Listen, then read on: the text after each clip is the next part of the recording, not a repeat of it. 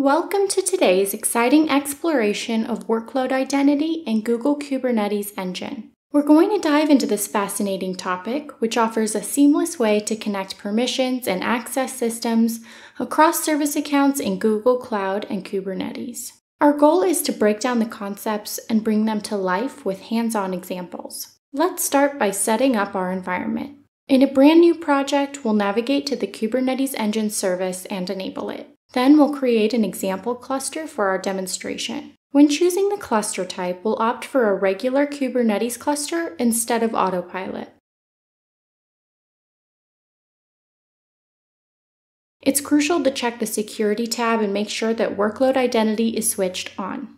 For our demo purposes, since we won't be running the cluster for long, the modest cost of about 24 cents per hour should be perfect. While our cluster is being created, let's take a step back and look at the big picture. We're working with the Kubernetes Engine service, which is similar to services offered by other cloud providers.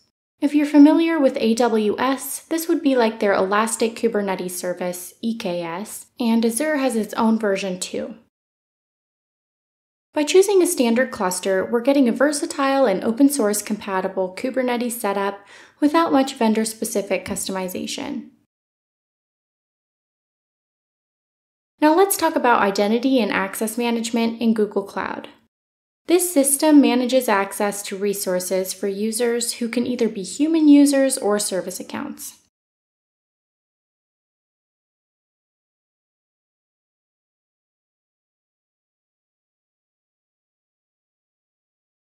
Kubernetes, however, has its own world of service accounts and permissions.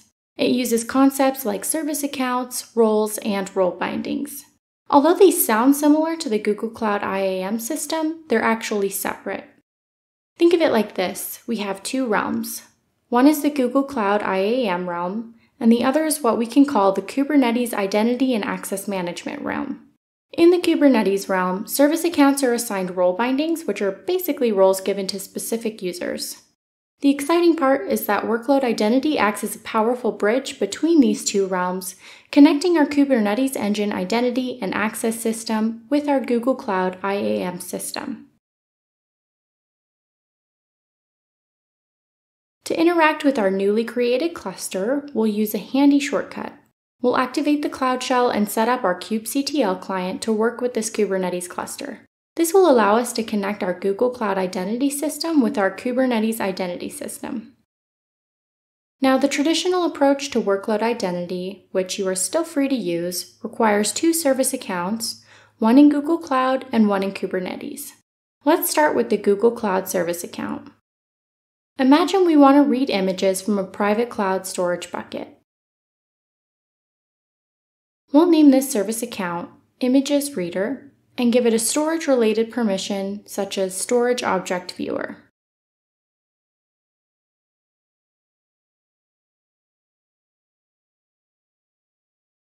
After creating the Google Cloud Service account, we'll set up a service account within our Kubernetes cluster.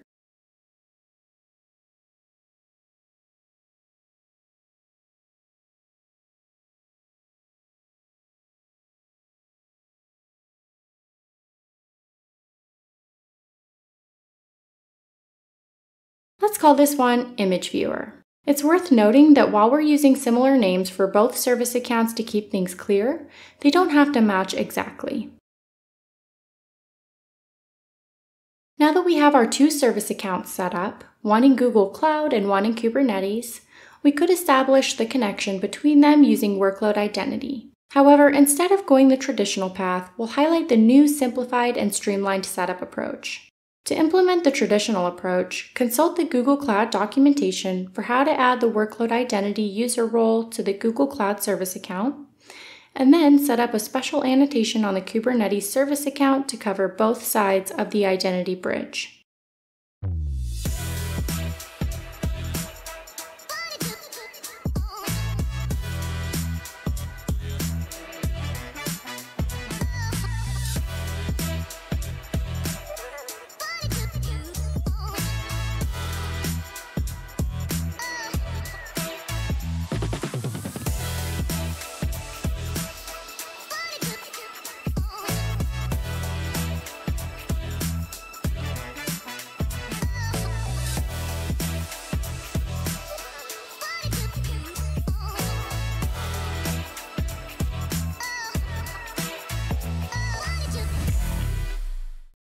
That said, let's put the new streamlined approach into practice.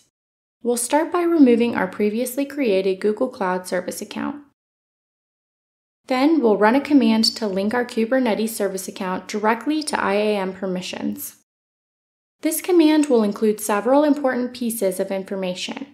Our project ID, the project number, which you can find on your project's homepage, the namespace, we'll use the default namespace for simplicity, and the name of our Kubernetes service account, which we called Image Viewer.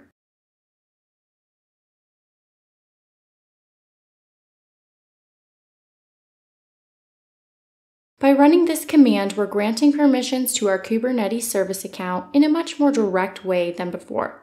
This new system is considerably simpler and more straightforward than what we've had in the past. To test our setup, let's create a pod in our Kubernetes cluster. This pod will run a simple sleep operation in a loop. We'll keep the sleep duration short to ensure the pod remains responsive to termination signals. The crucial part here is to specify our custom service account, image viewer, in the pod specification. This tells Kubernetes to run the pod using the identity we've set up. Now, to properly test our workload identity setup, we need something to access. Let's create a cloud storage bucket for this purpose. We'll name it Application Images and set it up as our regional bucket. Since our Kubernetes cluster is running in the US Central region, it makes sense to create our bucket in the same region. While not absolutely necessary, co-locating resources like this can improve performance.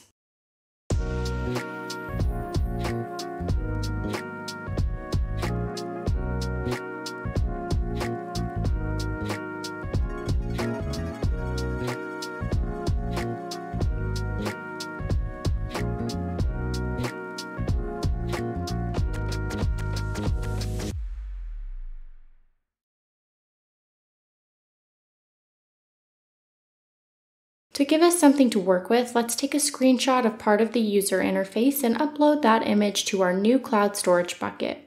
With our pod running and our test bucket set up, we're ready to see workload identity in action. We'll use the exec command to run a shell inside our pod. From there, we'll try to list the objects in our cloud storage bucket using the gcloudstorage command. When we first try to list the objects in our bucket, we might encounter an issue.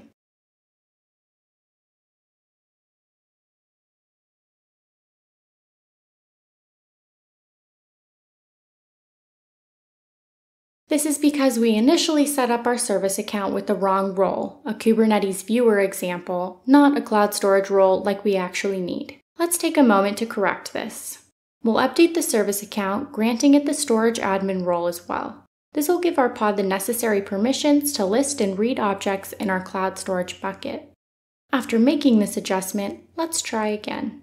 We'll exec into our pod and run the command to list objects in our application images bucket.